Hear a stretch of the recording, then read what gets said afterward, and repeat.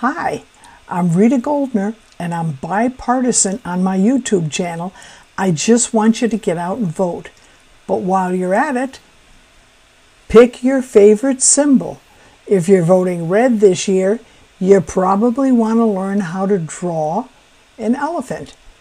And if you're voting blue, I have another video to show you how to draw a donkey.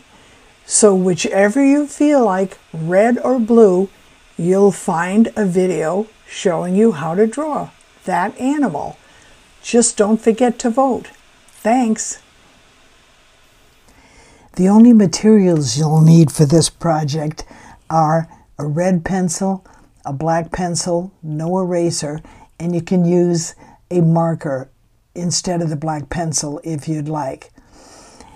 I have a photo reference you can see here and I'm using my red crayon to just outline simple shapes on that photo reference. No real detail or wrinkles or anything. Just squares, oblongs, rectangles, circles, ovals, just simple shapes that make up this elephant. And I use red to outline them.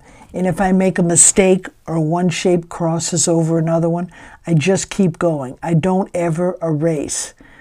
I just keep going. And if it gets confusing, I can use a little X to cross out a line I don't like.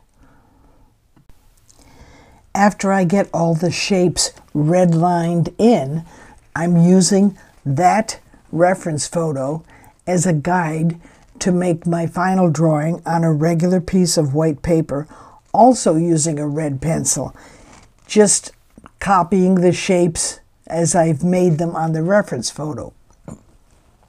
Now you see, when I did this, I made the body different from what I really wanted to. So I changed the place of the body on the paper and just put a little X over the ones that I didn't like. And I may make a million mistakes or changes on this drawing, but I don't ever erase. I use the mistakes or the lines that I don't like as a guide so I'll know where to make the line that I do like. Whereas if I've erased it, then I'll probably make the same mistake again. While I'm doing the drawing, I'm going to tell you some fun facts about elephants. And probably the thing about elephants that everybody likes the best is their trunk. The elephant's trunk has over 400,000 muscles, and it's strong enough to lift something more than 400 pounds. The trunk itself usually weighs more than 300 pounds, and yet an elephant can use his trunk to pick up a coin off the floor. They also use their trunk as a straw, sucking up water, but then they have powerful muscles that close off the top end of the trunk so the water doesn't get into their sinuses. And then they just squirt it into their mouth. So elephants aren't drinking through their nose, they're drinking through their mouth just like everybody else. There are African elephants and Indian elephants. And the way you can tell the difference when you see them in the zoo is that Africans have big ears, big floppy ears, and the ears are shaped like the continent of Africa. Indian elephants have smaller ears. And also, the Africans, both males and females, have tusks. But the Asian elephants, only the males have long tusks, and the females have short little tusks that are only visible for a few inches beyond their lips or when they raise their trunk and open their mouth. They also use their trunks as an air snorkel while they're swimming, and they're pretty good swimmers. They can swim up to 30 miles without any problem at all. If they get a little tired, they lay over on their side and float for a while, and then they start swimming again.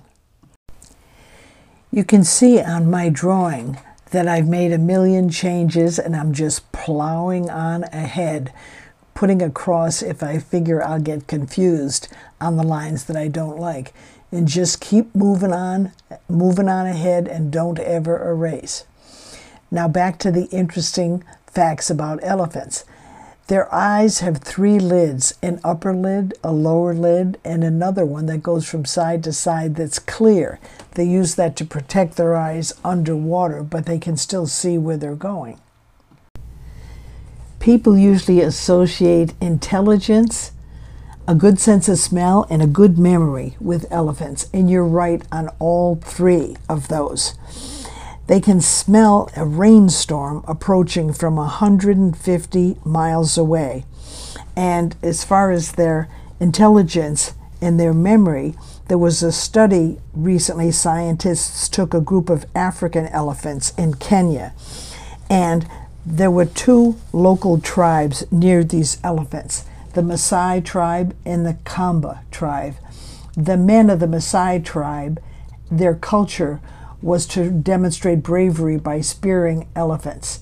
The women of that Maasai tribe never did that. And in the Kamba tribe, neither the males nor the females did that. So the scientists left clothing that had been worn by the members of both tribes. When the elephants found the clothing that was worn by the Maasai men, they would stampede away they would have the same kind of behavior when when they would just see red fabric even if nobody was wearing it because that was the color normally worn by Maasai men. But if they came upon some fabric or some clothing that was worn by women of either tribe or men of the Kamba tribe, they just ignored it and went about their business. They weren't afraid. So this shows that they remembered the men of one tribe that had speared them in the past and were afraid of the smell of those clothes. But the other tribe that hadn't been a threat to them, they're fine with them. I want to tell you a story about a conversation I had with the zookeeper at the Phoenix Zoo that's in charge of the elephants. I like the Phoenix Zoo and I go down there pretty often with a folding camp chair just to sit and sketch the animals. But that particular zoo I like because they respect the animals and the enclosures are pretty nice and roomy. Anyway, this ranger that was in charge of the elephants said that they never teach any animal a trick to do to entertain people, but they did teach the elephant one thing to do, and that was to lift their foot on command. And the reason they do that is because elephants in the wild have soft plants or soft dirt to walk on. But elephants in captivity are either working on cement or they're walking on hard packed dirt. And so they have a lot of problems with their feet. So the Phoenix Zoo has a elephant foot specialist come in very often and look at their feet and take good care of them. And so the elephant has to lift his foot and show it to the doctor without stepping down. The last thing I'm going to tell you about is the elephant's skin. It looks very tough, but it's not. They have sensitive skin, and to protect themselves against bug bites or against damage, they use their trunks to splash water up on themselves or dust up on themselves to get rid of the insects down. So that's your drawing of an elephant. And if you would also like to make one of a donkey mascot for election day, I have that video too. Look on my channel for the video on how to draw a donkey. You learn some fun facts about elephants. And if you like this kind of video showing you how to draw animals, please subscribe to my YouTube channel and click on the bell below so you'll be notified next time I post a video. Happy voting! Thanks for joining.